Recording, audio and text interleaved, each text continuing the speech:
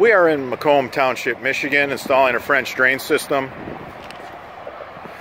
When you're installing a French drain system, you want to run your French drain system in the lowest area.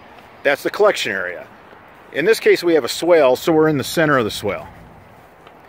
Now, we're taking this French drain system to a storm drain catch basin. We went through the sidewall of that storm drain catch basin you can't expect the water to come up and out of the system through the grate of the storm drain catch basin.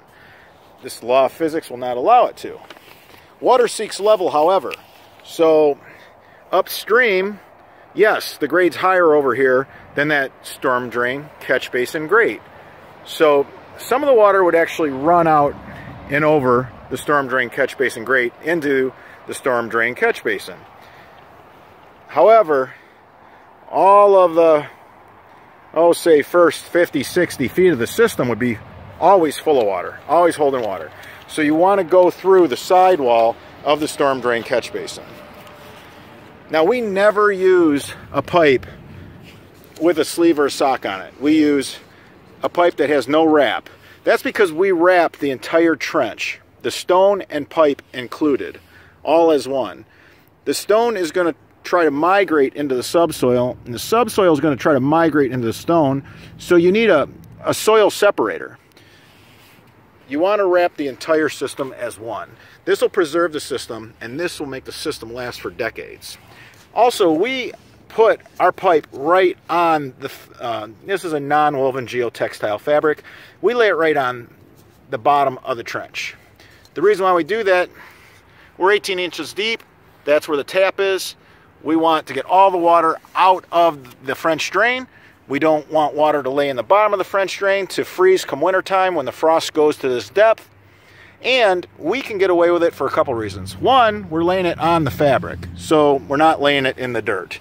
Two, this is not a pipe for building a septic field where you just have a couple holes and a line of, of a couple holes at the bottom.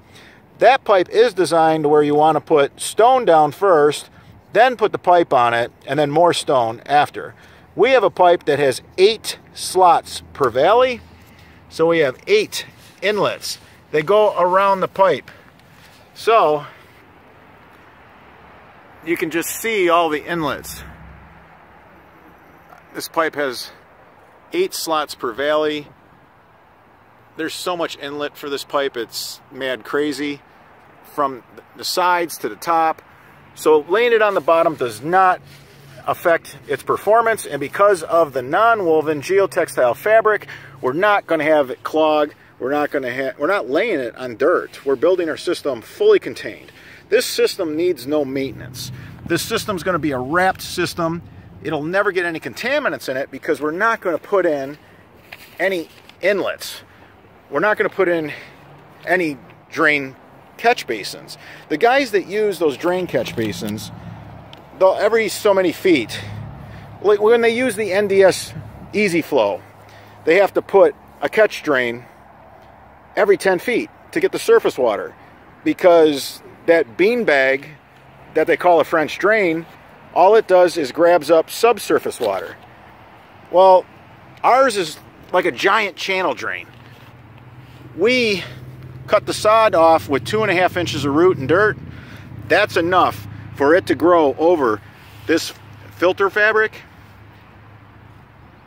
This entire system will take in the surface water. We can lay this sod over all this stone. We're going to take stone right up to the top. Leave just enough room to put two and a half inches of dirt and sod back in. When you do that, all the water that comes down into the swale just runs right through the gravel and then into the storm drain catch basin. There's no better way to drain your property than a stone French drain.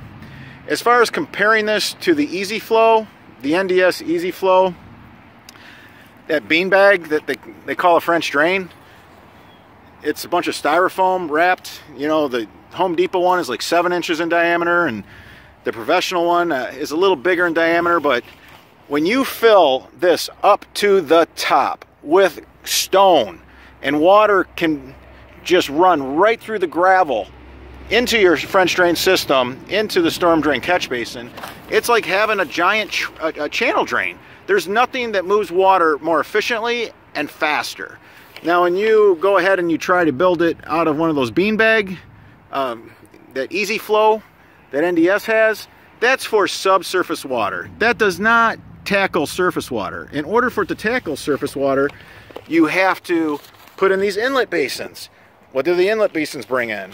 Oh, grass, leaves, dirt, debris, ends up clogging the system. And every 10 feet you have an inlet basin with an all gravel drain that's to the surface like this, that's wrapped.